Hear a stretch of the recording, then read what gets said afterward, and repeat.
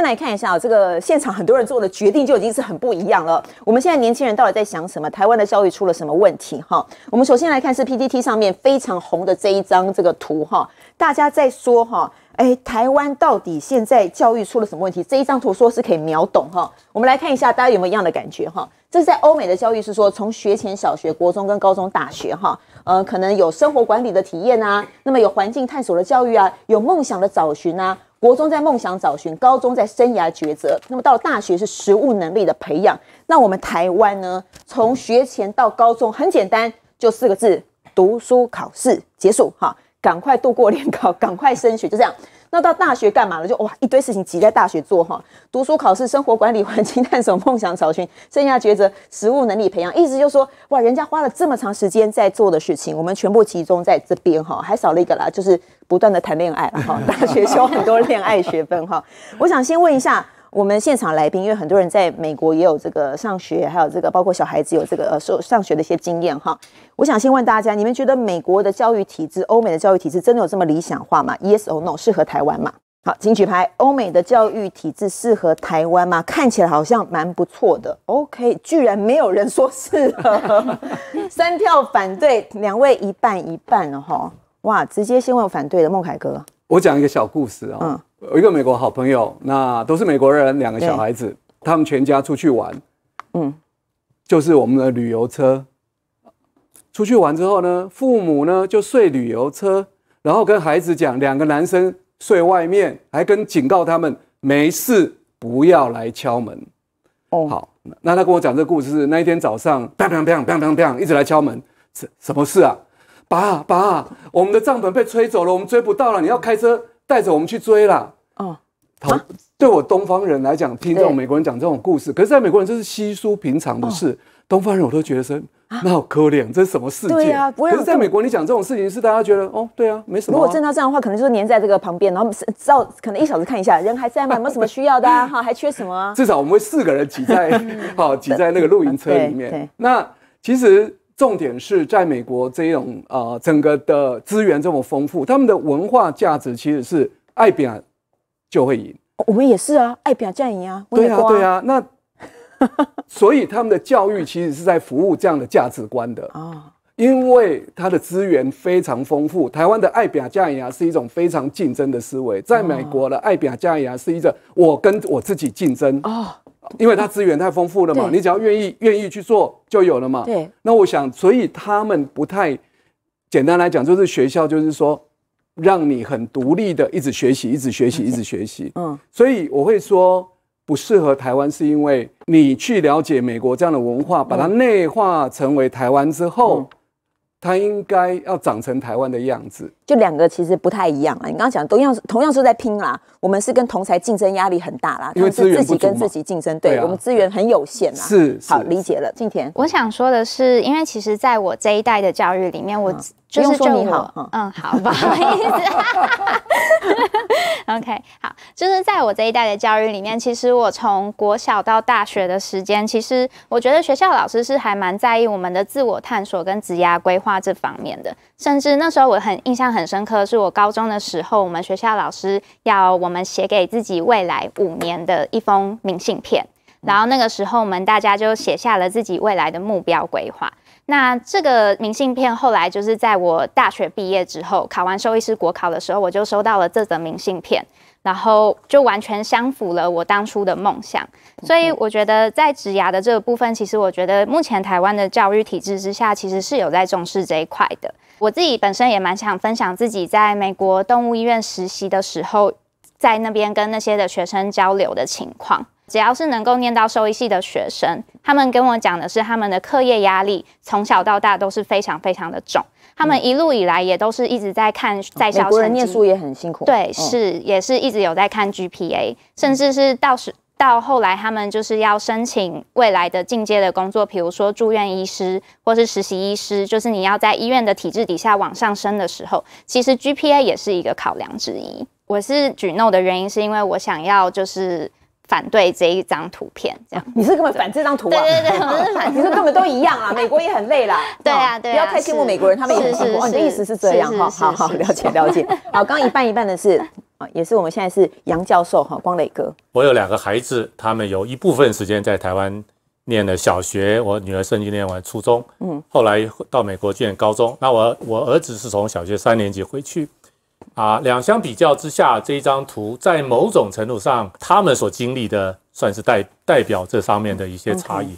不过我要讲一下，美国的教育其实跟跟区域很有关系，嗯，像。像我儿子念的高中就是在 Stanford 旁边，嗯，那他们在在高中的这个整个过程，我看到一个截然不同的高中，跟我过去的高中啊念书，然后我我现在所经历的高中是很不一样的。他让孩子自己可以选择，比如说他数学可以选最难的啊，物理可以选选最简单的，他不要说因为我是理工科，我所有都要跟大家一样，他是可以自己去 customize。这个就跟台湾差很多，台湾的学生是没有办法选择，大部分是服从。是是，听老师的。这个我觉得这是一个核心的这个东西，他从小训练孩子要独立做决定啊，自己做决定。当然，当然，我我也知道很多华人，嗯，很多的学校哈，像有一个地方叫 Cupertino，我就很明显的感觉到，那一旦有华人或者亚洲人多的啊事情，孩子就会受限。哦，OK，这个东西跟。在哪里？而是他的整个的家庭文化是有关系的，就是培养独立。刚刚孟凯讲到独立这件事情，嗯啊，是一个很很重要的一个一个元素。在这背后，它两个最大的差别是从独立性来看。OK，好，主要是这个区域差很多啦。那最主要是有没有办法让孩子可以独立思考、决定一些事情？哈，好，这是我们最年轻的教授。嗯，其实我非常同意，就是杨老师讲的，因为。其实感觉是文化上有很大的差异，就是美国跟台湾。那台湾大部分在比如说在升大学，其实都是用考试的成绩来决定你要去哪个大学。虽然现在，嗯，我们的教育体制是有渐渐希望能够转型，可以让他们可以用比较丰富的方式，真的先探索了你是不是适合这个系所之后，然后再去申请。但是因为长久以来，大家就已经有一个排名在那边了，所以大家老。呃，父母也会努力让孩子去追逐那个最好的排名，所以孩子可能自己也没有时间探索，或者是爸妈就会辅助孩子，帮助他探索，希望他能够走向他希望走的那条路，但不是他孩子自己去走的。但是美国的教育算是从小就比较独立，让孩子从小就开始思考说，嗯，我我我到底喜欢哪一个方向？那像之前我有一个朋友，他就讲过说。像他在呃他在公司工作嘛，然后他们公司就有的时候会有，嗯小孩子就是幼稚园或者是小学生来参访，对，那他那那个活动就只是让他知道爸爸妈妈在做什么，每一个父母可能有不同的产业，所以他就趁借由这个校外教学，就让小朋友在很小的时候就知道不同产业的工作大概长什么样子。美国的台湾很少办这种活动哈，小孩来参观父母亲在干嘛的哈都不知道。对，所以。台湾的小孩其实就是常常就是哎，不知道父母在干嘛。很多台湾的学生小时候就会觉得，我希望未来可以当老师，因为你看过的工作只有老师，你也不知道其他的工作实际上在干嘛。只有老师是真的每天都有在接触的工作，所以他们有环境探索。对，所以他可能在从小的时候看过比较多样的产业，然后比较会有自己的想法。那台湾这一块就是比较缺乏。虽然我觉得政府其实是有在改善这个教育体制，希望能够。比较接近欧美一点，可以让大家去探索的时间往前移，不要好像是哎，你已经进进了这个系，然后你才发现你我其实不喜欢这个科系。我也来看哈，其实孟凯哥的呃经历蛮特别的哈。我们刚刚讲的这两种不同的方式，但是你是第三种哈。你是一九九八年从美国回到台湾，然后你想创造一个适合孩子学习的环境哈。我想看我们节目的观众朋友都希望望子成望女成凤，都想怎么样个教育方式最好。你选的这条路是自学，嗯。在家里自己教小孩的意思，自学。这个照片是我儿子在他的 Facebook。那回台湾的时候啊，老大 Steven 是准备生小五，对，老二 Alex 准备生小三。嗯，那回台湾的时候呢，其实我现在还是讲一个小故事。我一九八三年去美国念书，然后一九八四年奥运在洛杉矶。然后我就听说很多家中的老中，老中就是台湾的这些父母，然后的小孩全部分裂，而且吵架不讲话。为什么？那一年的中国跟美国的排球比赛，嗯，就是中国女排跟美国女排，父母支持谁？中国队，台湾来的哦，嗯，美国出生的小孩全部支持美国队。然后小孩就对父母非常反感。你们赚美国人的钱，我们是大熔炉，你居然哒 哒哒哒哒哒哒哒，哦，那很恐怖啊！那个真的是家庭分裂的，很恐怖。那而且那次又很惨，在初赛美国赢，预赛中国赢，嗯，哦啊，那个家庭就是哇，闹腾的很厉害，闹翻了。这代表的是什么？其实从东方过来的那一种家族的感觉、血缘的感觉、集体的感觉是非常深的。可是从西方长大的小孩，他们这种认同感其实是完全不同的。嗯，那我的两个小孩都是在美国出生长大的，其实很奇怪，在那边长大的小孩，他们对于价值观是完全不一样的。回到台湾，知己知彼。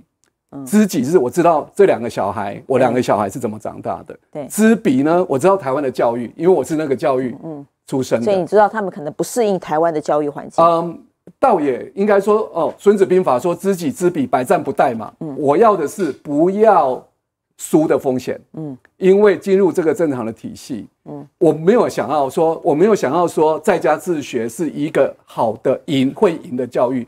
可是我觉得那时候我选择在家自学是一个。不会输的教育，因为适合他们俩。嗯，适合他们俩。你担心他们去台湾的这些小学继续念会会发生什么问题吗？哦，那个故事有点多了哈，因为他们前一年我有让他们回来试读了哈，那我就发现哇，台湾的小孩子太聪明了。比如说，他们两个进入台湾的小学，其实是偷偷的试读，好，偷偷的试读。那试读了一个月，他们两个很适应啊，玩得很开心啊，跟小朋友玩。我这个父母都快疯掉了，为什么？比如说举个例子，学校禁止孩子。呃，下雨天玩去玩水，然后呢，他们班上的小孩就故意带我们两个小孩子到训导处前面玩水，因为他知道这两个被告给来哈，有特权。嗯，我我想讲哈，如果训导训导主任训导主任来看到啪啪，假设巴掌打下去会怎样？你知道吗？台湾的小孩知道这有特权的小孩，我要玩水，我就拉着他们一起玩啊。然后他们就会说：“哎，好奇怪哦，学校不是不准玩水吗？玩水吗？怎么为什么有同学来找我们玩水？我这父母在那听着都呜，给他了给他洗啊。”所以，好这种事哈，我想经过这个体制，我很知道会发生什么事。当然，好啊，那天训他们误入丛林，小白兔 会，这好小朋友都会这样子闹着玩啊。嗯，对。可是我真的那是小白兔啊，对，他完全不知道那些其他我其他小孩有没有恶意，嗯，不见得，嗯，他们只想要保护他自己，嗯，好，所以他们在自学过程里面开始寻找到自己的梦想，也培养出自己的兴趣。你觉得自学之后他们有什么样的改变？我觉得自学有点像刚刚光磊在提的，他们如果喜欢数学，可以连续三天三夜都做数学；如果他喜欢画画，他可以一个礼拜都画画。他可以完全不懂、不没有兴趣的，可以完全不管。那当然，我那时候我那时候是跟一个美国的美国有这种 homeschool 的 association，那我跟他们等于是 consult 他们整套的。教材，那我们就依照那个教材自己定进度。那我们每个礼拜就帮他们看一看。嗯嗯。那所以我觉得在家自学最大好处是，你给一个宽松的土壤，然后他们看自己要长成什么样子。嗯。想长成橘子的就长成橘子，想长成 木瓜的。电视。他们完全不看电视，因为画画太好玩了。因为电视太不好玩了，没意思。那是别人的事啊。那我自己我自己做电视好不好？举例了，我说他们会自己设计 game 啦，自己因为。就是完全做自己热爱的事，所以没时间看电视。嗯，那老二听说变成职业舞者，对，这是这是老二。那呃，他其实是国一进入那个体制外的学校，那进入体制外学校，他国一才开始接触舞蹈，然后到了国三，他就开始思考，他希望成为一个职业舞者。那当然男生还好，因为台湾的男生很少跳舞嘛，所以还是考得进国立的啊舞蹈舞蹈系嘛。但是他很清楚，活不起来。那但是他也没有去想说，呃，那个年纪不会去想未来怎么去生存嘛。嗯。他们学校是一个体制外的学校，有个规定，只要六个学生，嗯，想要上一门课，学校就这个义务要开课。嗯。他说我要学咖啡烘焙，我要开咖啡厅，我要烘焙，所以学校就帮他们弄一套咖啡的空间，然后烘焙的空间，然后他就开始泡咖啡做生意，卖给他的同学。嗯。他所以他从国三、高一、高二就开始经营那个咖啡店。然后也面临过黑字倒闭的风险，因为同学都赖账。嗯，那同学赖账的时候怎么办？他来问我，我就开始想帮他想办法，应收账款收不回来啊。哦，那怎么办？我就说你学应收账款。哎，因为男生都是那些臭男生在赖账啊。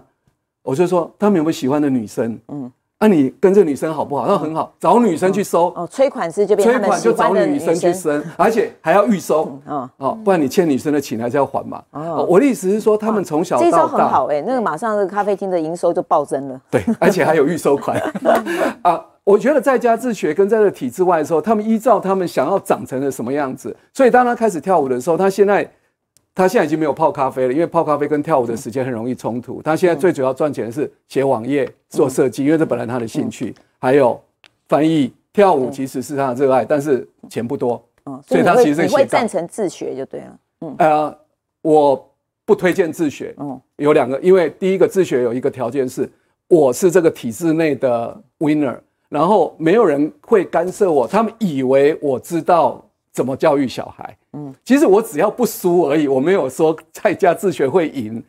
第一个我有条件啊，这是第一点。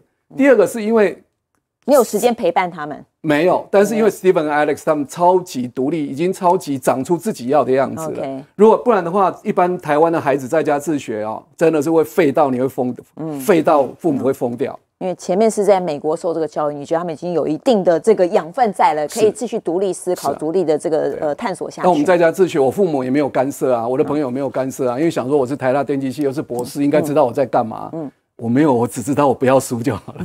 OK，好，谢谢谢谢孟凯哥谢谢哈。好，其实，在这个学习的过程中，大家常说，哎呀，我是不是这个学历无用论哈？我做的事情到底是不是我内心中想要真正做的事情？在法国，现在也出现一个革命性的一个教育制度哈。哎，这个体系也蛮特别的，听说每年八万人来申请哈，录取率奇低无比，比哈佛还低哈。录取人数只有九百人，八万人九百录取，百分之四十的人是没有高中文凭的，所以它跟传统的这个整个学士的这个学历的制度是差很多的哈。他到底是怎么样来找这些学生哈？我们请立方一起来看。这个呢，学校非常有趣哦，叫 School 四十二哦，那是二零一三年是法国富豪一个叫 Neil 的他去创办的。那这个呢，他当时其实是法国第七个第七名的富豪哦，哦是很有钱的哦。那他那时候在巴黎创办的时候呢，基本上你完全他是不看你任何的学历的，只要你提出申请就可以来。那他的录取率多少？不好意思哦，只有一点一趴。哦，八万人申请，平均只有录取九百个，而且他入学他是先怎么样？先打怪，先线上游戏两个小时，然后你要不断的闯关，不断的闯关，先来去打怪这样子。那这个学校非常有趣哦，因为它进去就是每个人一台电脑，而且它是三百六十五天，一个礼拜七天，它没有所谓的上学放学，你随时要来都可以。二哦十四小时，二十四小时。七天都可以上课。对你随时但是没有老师，没有课课本，哦，对，提供各这完。全颠覆大家对学校的概念。对，基本上呢，它就是提供很好的一个科技的一些相关的软体、线上的这些相关的教材，只要你有兴趣，你就可以不断的去、不断的去往上进阶晋升。OK，好，其实蛮有趣的。这个创办人 Neil，、他其实自己本来也是这个正规体系的一个逃兵了所以他想说要怎么样来呃创新打破这个革命哦。这个 School Forty Two 哈也有特别提到说，这是好像是一个科幻小说里面取名的对这个原因啦哈。没错这个好像这个作者是问一个超级电脑说宇宙终极答案是什么，他回答说就是四十二哦，所以他可能是有这个体制在找答案哈。那也听说哦要进来呃念这个学校的同学哈。资格考蛮特别，有一个游泳池的魔鬼测验。哦，光来科，什么叫游泳池的魔鬼测验？我自己去参观的地方，对。是在啊戏谷的叫 Freema，它一个很大的地方。另外在法国也有啊，对，它对法国戏谷都有分。对我我最主要我主要去戏谷总校在，这里啊，戏谷是分校。对，分戏谷是一个分校，所以我去我去分校的时候，正好那个那个时候啊，本来是想要引进这个 School Forty Two 到台湾，那我跟他们的人谈了很久啊，也去参观，然后正好那一次引进哦，哦，啊，正好那一次很有趣啊，见到了四五个台湾人。嗯，OK，我们参观完以后，就找这些台湾人坐下来一起聊天，聊聊你们为什么要来？因为那个大概是他们的暑假时间，有其中三四个是学生，大学生，然后要到 School Forty Two 上课，另外一个是工作啊、quit job 要转转职的这些人。嗯，好，那那一次他们就跟我讲，他事实上他们都去参加所谓的三个月的啊游泳池课程。啊，游泳池课程概念就是，它就像你你要你要学游泳，把它丢到游游泳池里面，你这三个月游吧，看你可不可以游出什么名堂。所以他他为什么在法文他用一个游泳池这个字？透过那个三个月的时间，来测试你是不是真正可以适应这样的学习。对，那三个月考什么？他没有考试，他基本上不是考试。这个三个月呢，刚刚讲打怪哈，它基本上就是一个一个课程，你可以从我印象里面好像从四个入口，就像玩游戏一样哈。嗯。它从四个入口，看你喜欢哪一个入口进去，一直走。一关一关的把一一关一关解决掉，电脑电脑完成嘛？完全是在电脑。来的时候就开始打电脑，看今天任务是什么。它这里面有三个层次哈，很重要，就是它基本上要测试你有没有办法自学，有没有办法共学，有没有办法这个做所谓的专题学习。哦，OK，然后还有很多所谓的跨领域学习都在那里。这三个月你就要要完成一些事情，它有一个基本门槛。就像考有点像考试，你考到六十分你就过。他他说你过或不过，嗯啊，我刚刚讲台湾那个时候我见到那几个人，我后来再再重新再去访问他，再问他们啊，大概只有一个人过，只有一个人啊，其他的啊所有的大学生都没有办法度过这一关。友达的这个工程师基本上是啊是这里面唯一。过游泳池的啊，唯一过那是友达工程师哦。他基本上就是 quit 他的价格叫做破釜沉舟。嗯嗯啊，为什么友达工作在台湾也会觉得蛮不错的？面板现在很夯啊。啊，这跟夯不夯没关系。大部分其实台湾的工程师至少超过一半哈，我要保守一点讲，都很痛恨他的工作啊啊，我想至少一半。但是不管任任何一个公司、任何一个行业，都都会面临这个问题。当初我们在两千一七年的时候。去访问的戏谷有三所学校，OK，School Forty Two 只是其中一所，嗯，还另外两两所 School Forty Two 在南湾 Freeman，另外两家在旧金山的 Downtown 附近，嗯，叫一个叫 Hobarton，一个叫 Make School，嗯，他们三家都是有类似的这种教法，但是它的它的都是体制外学习，都是体制外学校，School Forty Two 是一个完全没有老师，嗯，甚至没有助教的学校。OK，Hobarton 呢有很少的老啊，几乎也是没有老师，但是有助教。嗯，Make School 大概有一半的老师，一半的助教。嗯，所以所以这三所学校的方式是不太一样的。嗯，其实最接近体制学校的是 Make School，因为他的 founder 事实上是他妈妈是这个 Apple 创办的 CFO，他在 MIT 念书念到一半就觉得 MIT 的软体教育很烂。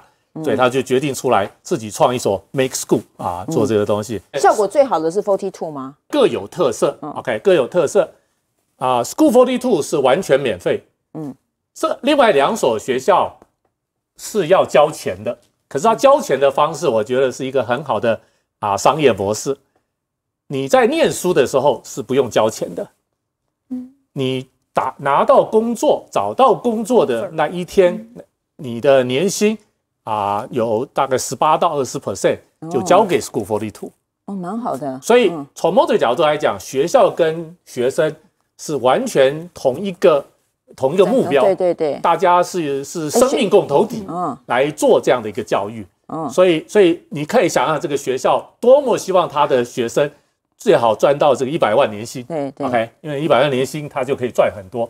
所以，所以这样子的一种商业模式是一个其实很有意思的商业模式。学校很信任学生了，相信这个在我这边念完的学生，一定很有本事哈，这个年薪会很高，我抽个二十趴就很很棒了。对对。好，我们先进广告，到底要做什么样的人生抉择才不会后悔呢？